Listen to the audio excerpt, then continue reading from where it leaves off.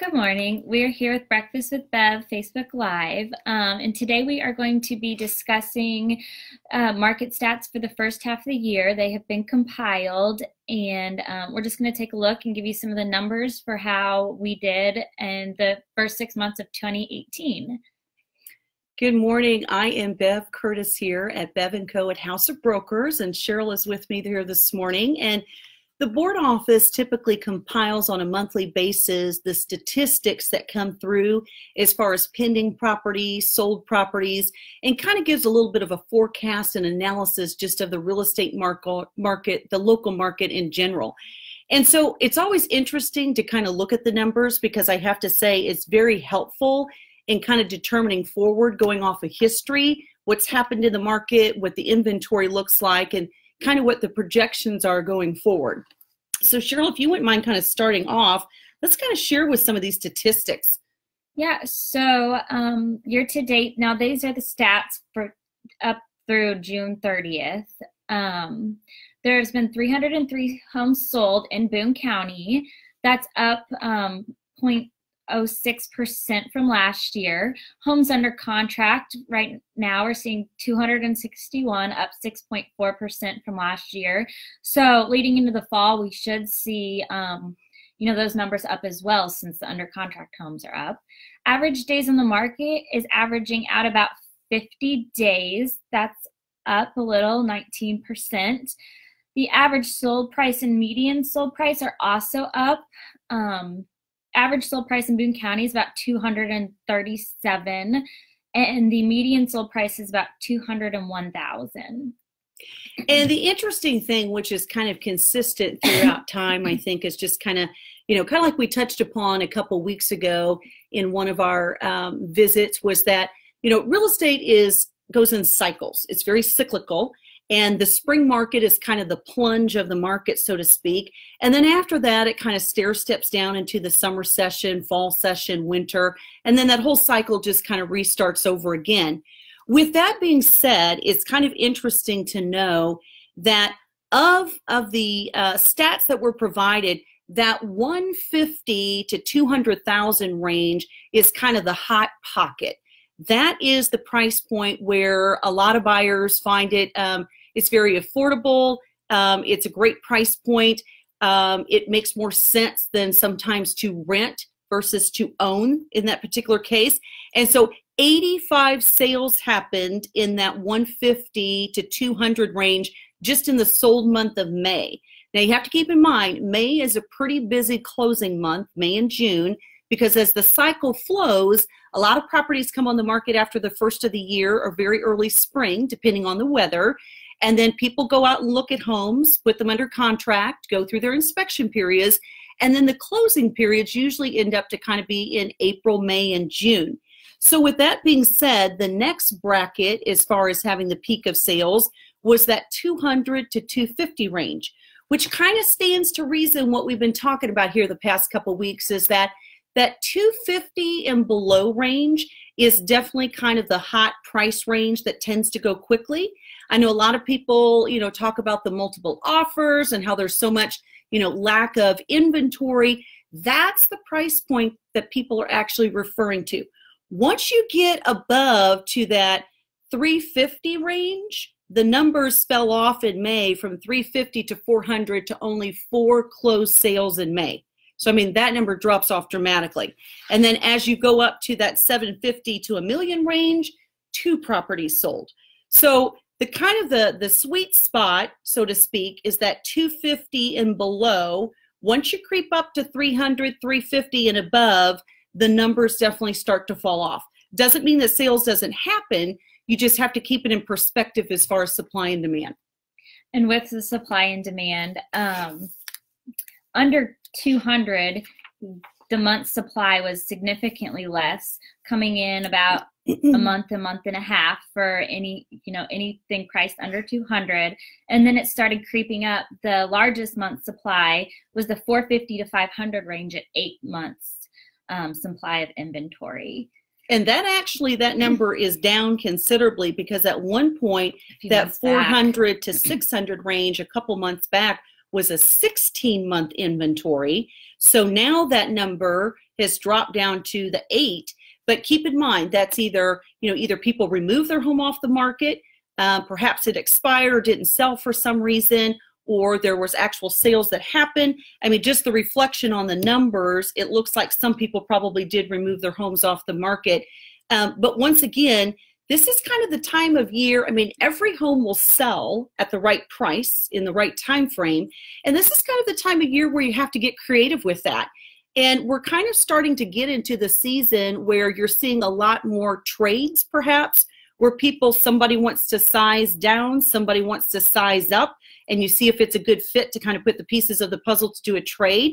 That's also pretty popular in the new construction world um, new construction and now that we're kind of on that topic, um, is actually kind of dropped a little bit lower in sales than last year. Um, the numbers each month is just a tad bit lower. Um, so it, it, definitely stands to, to reason that we do have some surplus of inventory in the new construction world. And so that's where a trade option or getting, you know, um, creative financing involved can certainly be advantageous to make that sale happen. Yeah. So, okay. Um, as far as the average sold price, um, as compared to last year, in 2017, at the end of the year, the stats reported was $212,004. And as of June, excuse me, my allergies are kicking in. As of June, the average sales price was 237 122 So if you want to take that one here. and then I think we already talked about the homes sold. There, year to date, there's been about 303 homes sold so far this year in Boone County. That's not a huge change from last year. Um, there's about 300, um, about the same amount this time last year of homes sold. So that's not up too much. It stayed very consistent. And um, yeah, it'll be interesting to see how the second half of the year plays out.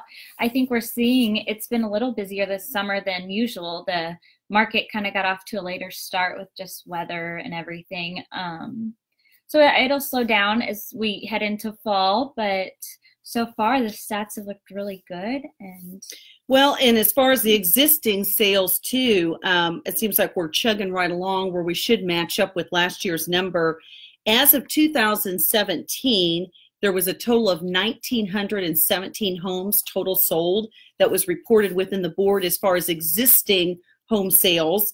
And then there was an additional 285 homes that sold that was actually in that new construction sector.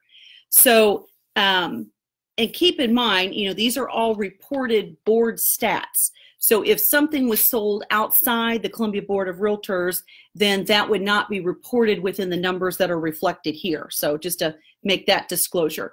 So I think the big question that people kind of are thinking about now is what do I do going forward? Because school starts here in about two weeks. Uh, which is just surprising that we're already through summer. It seems like it went by so fast.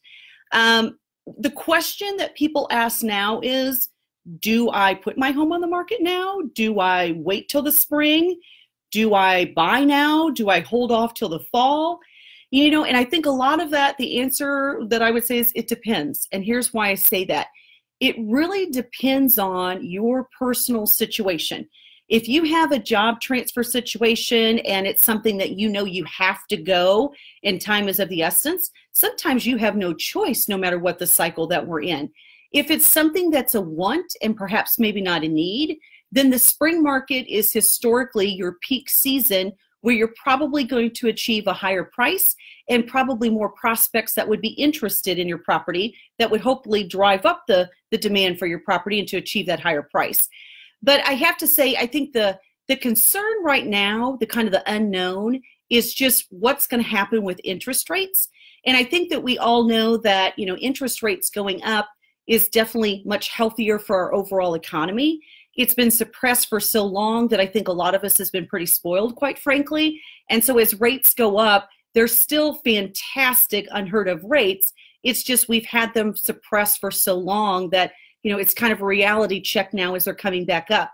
But it's a must need. I mean, we we really need interest rates to creep up so the economy gets stronger and you know it all kind of coincides with one another so i think for someone that wants to buy it is certainly a time that is a good time to check out the inventory and see if you can find something that works for your needs and your lifestyle because you know let's face it prices are starting to come down as we creep you know near school starting in fall.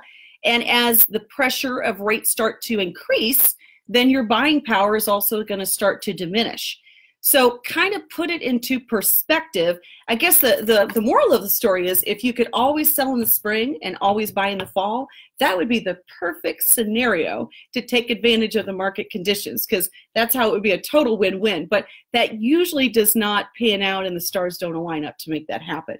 So and I think the best um, way to determine you know if you're thinking about selling is just contact us to set up a meeting and we mm-hmm. can you know analyze kind of what your situation is and um, your time frame and kind of help you make that decision too so you don't have to make that all on call all on your own and the other thing to kind of keep in perspective is the type of property that you have to sell as well, because there are some what I call specialty unique properties that really the time of year or cycle doesn't matter you know, if you've got a killer central location your downtown district area, or you've got this, you know, perfect uh, small acreage property that everybody's been waiting for to come on the market, there are some types of property like that that it is not going to matter the time of year. You can put it on the market whenever you want, and you're probably going to have, you know, a very good buyer pool you know that's going to give you a very good offer so mm-hmm. that's something to kind of keep in perspective but like cheryl said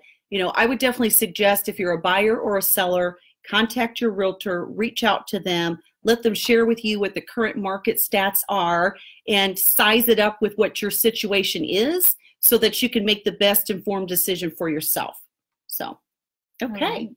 Well, thank you so much for joining in. We certainly wanted to share with you to let you know that our local market here is certainly healthy, very normal, and it's pretty much what's to be expected right before going back to school. So nothing too off the charts on that. So we appreciate you joining in. Hope you have a wonderful week, and we'll see you next week. Take care.